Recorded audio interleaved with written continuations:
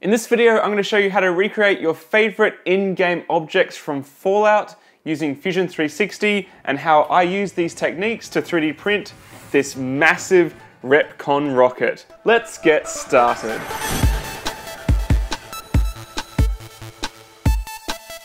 Welcome back to Maker's Muse guys. So here I have the A3 REPCONN rocket from Fallout New Vegas. So Fallout New Vegas, in my opinion, was the best Fallout game of the franchise. Um, and it had a lot of quirky characters. So Jason Bright, you come across him at the REPCONN test facility, and they are trying to get to create their great journey in these A3 REPCONN rockets.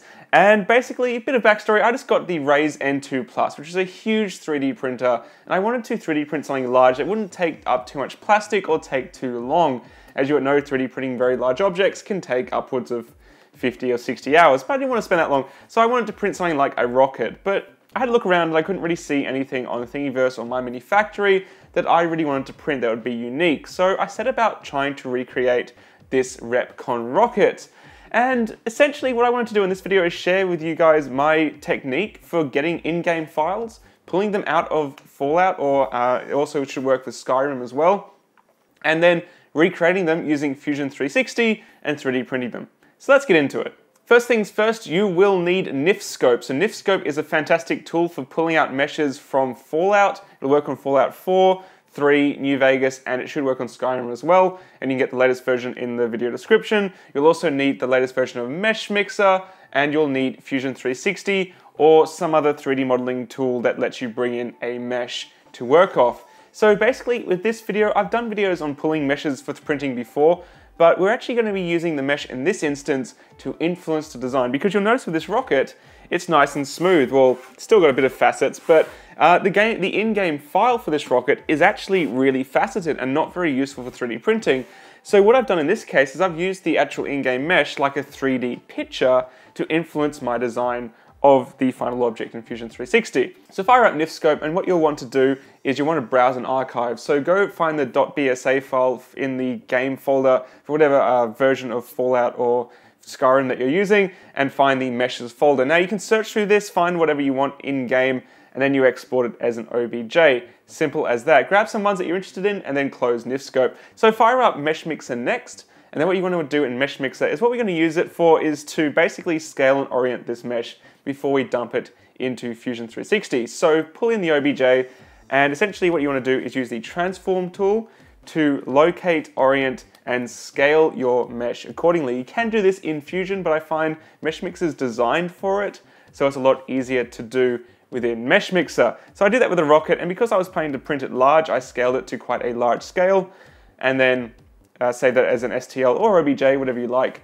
Uh, STL probably is best and then dump it out. Now it's worth mentioning that at this stage, as you can probably tell in Meshmixer, this mesh is not very 3D printable. Do not try to print this mesh at this stage if you were going to do it. Go watch my other video on how to repair it if you do want to print the in-game mesh. But as I said, we're only using it to influence our design at this stage. Now into the fun part. You want to fire up Fusion 360 and you want to go to add in a new mesh. So Fusion 360 has some quite powerful mesh editing tools now and basically we're just gonna grab this mesh and drop it in. But before we do that, make sure in your preferences that you've set the Z or Z axis to vertical, so up. Usually by default in 3D software, the Y axis will be vertical, but for 3D printing, we want the Z axis to be vertical. So if you want the things to come in actually where you think they are, should be, not like at an angle, like 90 degrees from what you think, make sure that's set to Z. So change that and then bring in your mesh and scale it if you have if you need to do any final tweaks. Usually it's good to get it aligned on your origin if possible. Don't get it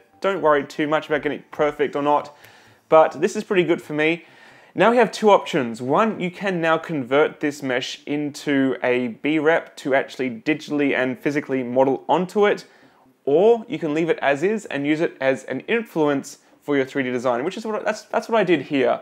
I didn't convert my mesh into something I could directly edit. I just used it as sort of a 3D picture to influence my rocket design. Now designing this rocket is actually quite straightforward. It only has a few features. The first main feature is a revolve, which is the main rocket shape. Then it has the fins, which come out the side. And it has a few kind of fancy things where I've done a, uh, a extrude which is offset from the face of the revolve, which gives that that nice little edge there. Basically just using the original in-game mesh as influence on my design intent. And then I did the little, uh, little spheres here, which just revolves again for the little bubbles.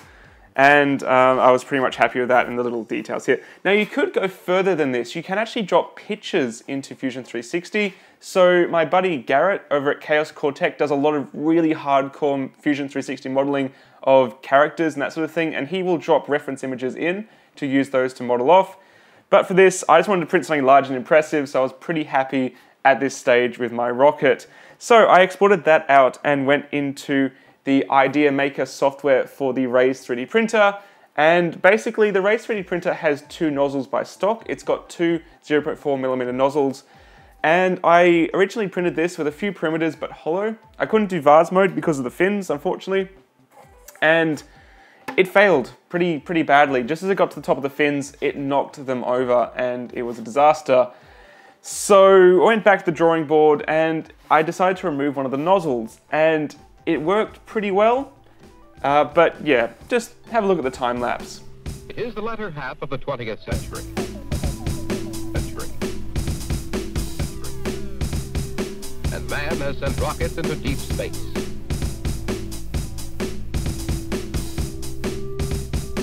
He has placed satellites into orbit.